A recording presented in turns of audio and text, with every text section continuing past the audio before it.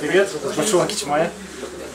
Сегодня у нас на сыроваре номер один представлен процесс именно сыроварения настоящего шапсукского сыра.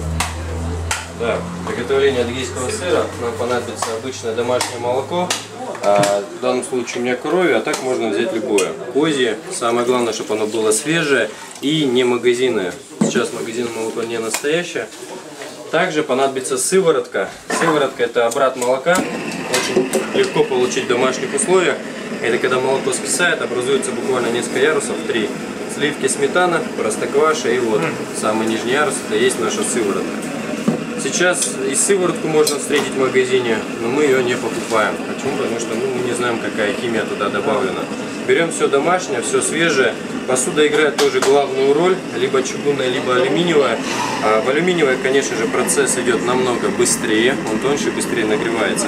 Чтобы приготовить 1 килограмм а, адыгейского сыра, в среднем уходит примерно от 5 до 8 литров молока. Бывает больше, бывает меньше. От чего это зависит? От жирности. То есть чем жирнее молоко, тем меньше мы, его потратим. У нас примерно жирность молока где-то ну, 5,5%. Это достаточно. Молоко должно не кипеть, а быть на стадии кипения. Это примерно 95-96 градусов. Как определить на глаз? Очень легко. По краям будут первые пузырьки. И в этот момент мы будем добавлять нашу сыворотку. Бывают моменты, когда выпускаем, да, вот, то есть молоко начинает кипеть. И если вы добавите сыворотку, получится обычный домашний творог. Поэтому нужно быть внимательным, чтобы молоко не испортить. Не продукцию. Да, конечно же. Адыгейский сыр, он вообще богат кальцием, больше кальция, чем в твороге. То есть примерно 80 грамм адыгейского сыра – это суточная норма кальция. И вот начинает, вот первые пузырьки пошли вот, по краям. И я добавляю сыворотку. Сыворотку добавляю также строго по краям. Это очень важно. Почему все-таки именно так? Потому что здесь температура выше, чем в центре. Я своей сывороткой просто не даю молоку закипеть. Держу ее примерно на одной и той же температуре. Добавляю до тех пор, пока все молоко не свернется. Как только я увидел, что мое молоко отошло от краев, немножечко беру так и размешиваю. Так, чтобы не порвать сырные волокна, Выключаем газ и процеживаем. Творог у нас обычно хлопьями и рассыпчатый. Вот сейчас я вам покажу все, что у нас получилось. Процеживаем. В домашних условиях через марлю это все делается. Так будет больше сыра и чище сыворотка. Процедили. Вот. Видите, масса получилась похожа на плавленый сыр. Она еще вдобавок у нас и тянется. Вот. Придаем ей форму и наш сыр готов. В таком виде он должен пролежать хотя бы 2-3 часа, чтобы угу. вся влага стекла. Подгнет, такой сыр не кладут, сам сыр выгонит все, что в нем лишнее. Остается только сверху, снизу посолить и все, он уже готов, да, готов к употреблению. Да, как обычно проверяют адыгейский сыр, его просто жарят. Адыгейский сыр можно жарить, как картошку с двух сторон. Да, жареный он намного вкуснее. Ну а если расплавился, значит это не адыгейский сыр. Все, в принципе. Бело хранится недолго, 2-3 дня буквально, да, без холодильника. В холодильнике вот может прожить максимум неделю. Поэтому этот сыр коптили.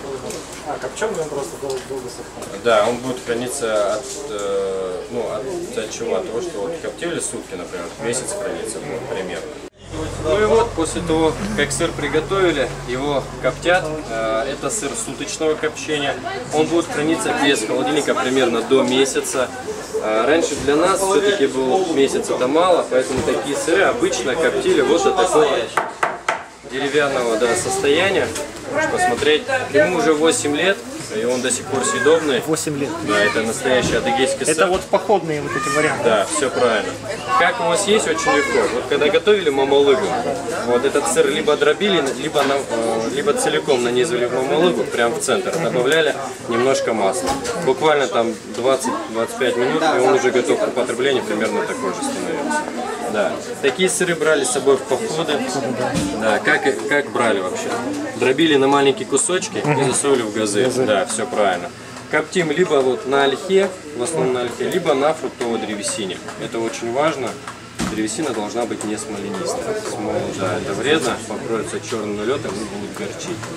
Тут два вида сыра, кругленький, это наш, как раз таки наш национальный адыгейский сыр, а это сыр сулугуни, по технологии приготовления сулугуни. Да, булочка с надрезом. Супер. Ну, теперь вы знаете, как это делается. Можете попробовать сами дома. Или приехать в Кичмай и попробовать это лично.